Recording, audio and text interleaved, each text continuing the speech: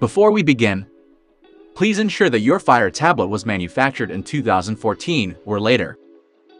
This method may not work on older Kindle Fire tablets because you must enable apps from unknown sources. To begin, go to the Home tab on the home screen and select the Settings app. Now, select Security and Privacy. Select apps from unknown sources.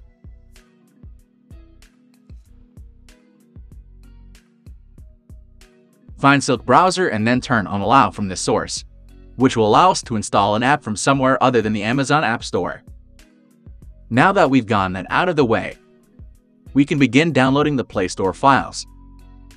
We'll need four APK files to get the Play Store fully operational, and they're all unique to your Fire tablet. To find out which model of Amazon Fire tablet you have, go to Settings, then Device Options, and finally about Fire Tablet. Here you'll see your device model name. With the device model in mind, we can download the necessary files in the following steps.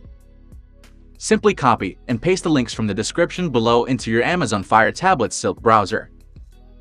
We're just downloading the files right now, so don't open them just yet.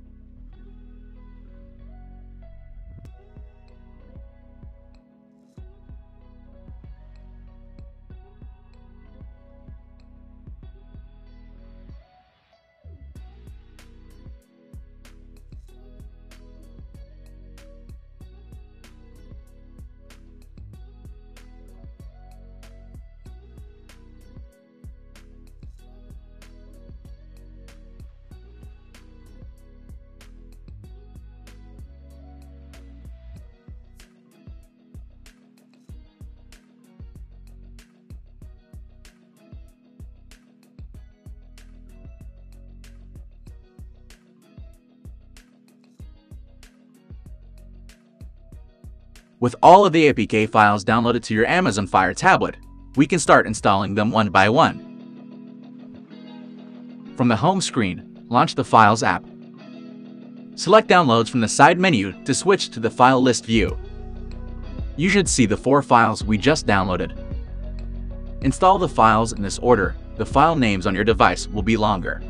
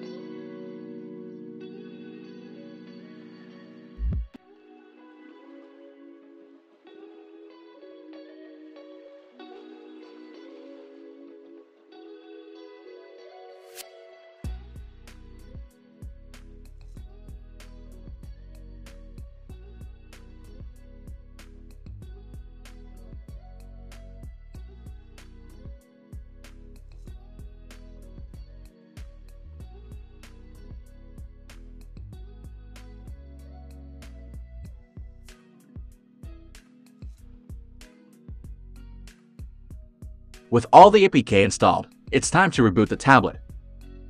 Hold down the power button and select Restart. After restarting the tablet, the Play Store will appear on the home screen. Sign in with your Google account and open it. Once signed in, you'll have access to the Google Play Store just like any other Android device. Download YouTube, Gmail, and any other app that isn't available in the Amazon App Store. You may encounter some issues when attempting to use the Play Store right away. Allow some time for the Play Store and Google Play services to update themselves in the background. This could take up to 10 minutes. That's all for this video. Until next time.